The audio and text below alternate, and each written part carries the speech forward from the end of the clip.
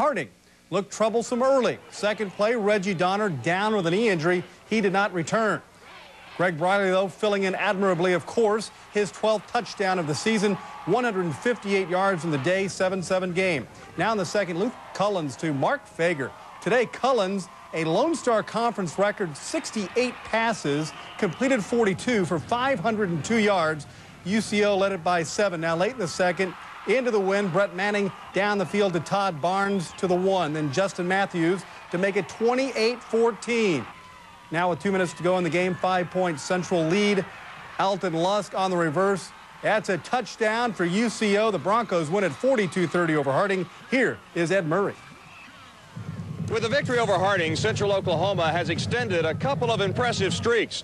The Broncos have increased their school record winning streak to 19 regular season games in a row. That's 15 straight in conference play. And running back Greg Briley tops 100 yards rushing for the fifth straight Saturday.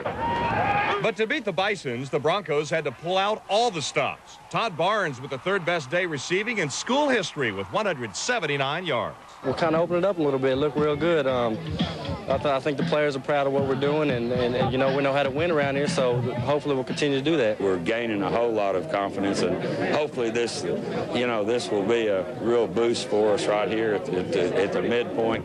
UCO travels to Arkansas next week to take on Ouachita Baptist. Ed Murray, News 9 Sports. Ed, thank you. More